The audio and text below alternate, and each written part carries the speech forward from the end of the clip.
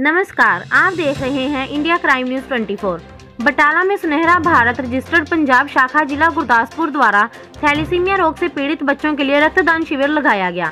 ये शिविर बटाला में ईशुरांचल डिसिप्लिन कमेटी चेयरमैन एंड प्रो सुनहरा भारत की तरफ़ से आयोजित किया गया। इस शिविर में मुख्य मेहमान SDO cum commissioner Balwinder Singh स्वर्णमुट ji Indra Sekhri ji, PRO Ravi Kumar ji रहे। इसमें SDO Balwinder Singh channel head Raman Kumar Shri Rohit Agarwal plywood and mica वाले श्री जगतपाल महाजन एवीएम स्कूल श्री अरुण महाजन लोहे वाले एडवोकेट कमल जी जी जय सरपंच श्री वरिंदर आष्ट ज्वेलर्स और कई अन्य लोगों ने रक्तदान किया। बटाला से नरेश संगोत्रा और अमित नाहर की खास रिपोर्ट। प्लीज़ हमारे चैनल को लाइक और सब्सक्राइब करें। जी रमन तेतरी जी से बात करते वो भी आज अपना जो है खूनदान करने के लिए आए हुए हैं। रमन तेतरी जी आपका बहुत बहुत स्वागत है। धन्यवाद जी।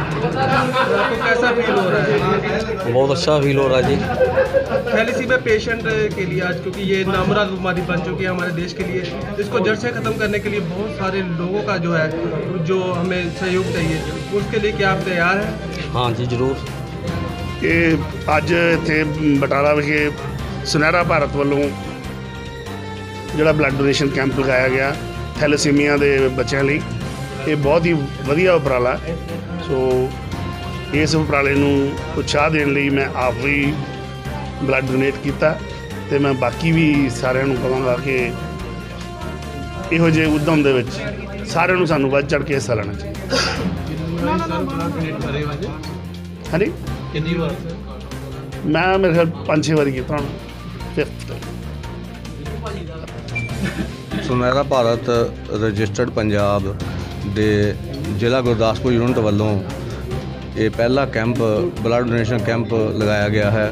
ਇਹ ਕੈਂਪ ਸਿਰਫ ਥੈਲੇ ਥੈਲੇਸੀਮੀਆ ਤੋਂ ਪ੍ਰਭਾਵਿਤ ਬੱਚਿਆਂ ਦੇ ਵਾਸਤੇ ਲਗਾਇਆ ਗਿਆ ਹੈ ਔਰ ਸਾਡੀ ਕੋਸ਼ਿਸ਼ ਰਹੇਗੀ ਕਿ ਬਲੱਡ ਡੋਨੇਸ਼ਨ ਕੈਂਪ ਹਰ 6 ਮਹੀਨੇ ਬਾਅਦ ਲਗਾਇਆ ਜਾਵੇ ਤਾਂ ਜੋ ਉਹਨਾਂ ਬੱਚਿਆਂ ਨੂੰ ਲੰਮੀ ਉਮਰ ਮਿਲ ਸਕੇ ਔਰ ਸੋਸਾਇਟੀ ਵੱਲੋਂ ਹੋਰ ਵੀ ਜਿਹੜੇ ਮਾਨਵਤਾ ਦੀ ਸੇਵਾ ਨੂੰ ਲੈ ਕੇ ਕੰਮ ਕੀਤੇ ਜਾ ਸਕਣ। ਕਿੰਨੇ ਯੂਨਿਟ ਅੱਜ ਹੋਏ ਆ ਗਾਂ ਕਿੰਨੀ ਦੇਰ ਬਾਅਦ ਲਗਾਓਗੇ?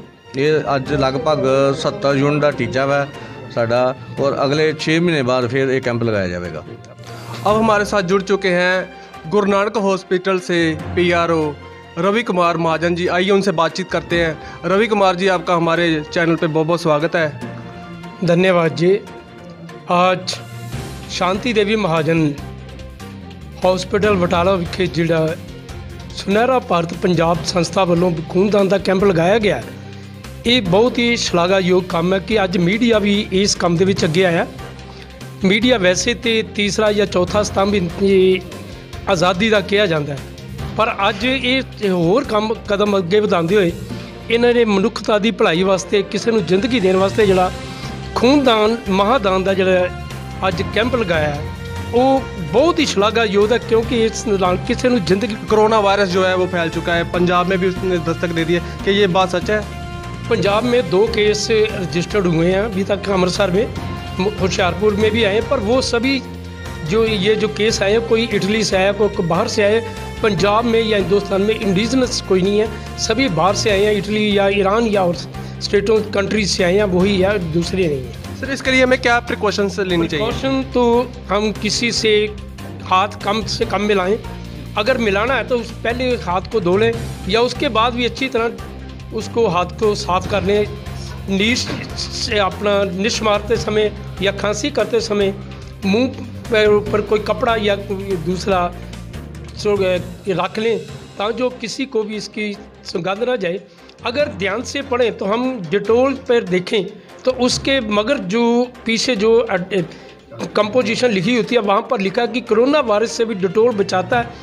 कारण कि जिस समय भी किसी से हाथ मिलाओ उसको अपने डिटोल से हाथ साफ़ कर लो यही प्रिकॉशन लेना सबसे ज़रूरी है।